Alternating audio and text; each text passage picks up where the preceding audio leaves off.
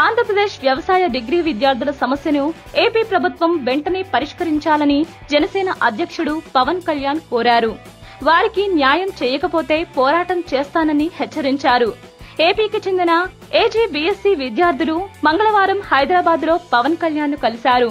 వ్యవసాయ అధికారుల నియామకాలతో గతంలో ఉన్న జీవో పదహారును కొనసాగించాలంటూ ఇటీవల విడుదల చేసిన జీవో అరవై నాలుగును నిలిపివేయాలని కోరుతూ సమ్మె చేస్తున్న విషయాన్ని వారు ఆయనకు వివరించారు.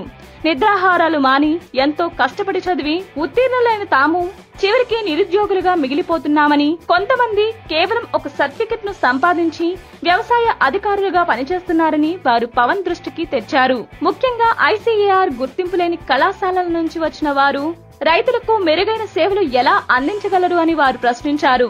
ఈ సందర్భంగా విద్యార్థులను ఉద్దేశించి పవన్ మాట్లాడారు. విద్యార్థుల డిమాండ్లలో న్యాయం ఉందని అన్నారు. ఈ సమ్మెను కేవలం మూడు వేల మంది విద్యార్థులకు సంబంధించిన విషయంగా జనసేన పార్టీ చూడడం లేదని చెప్పారు.